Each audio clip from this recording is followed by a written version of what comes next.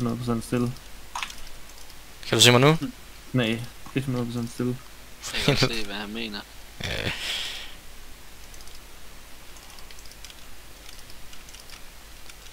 Det er godt, du mm, beskytter ham.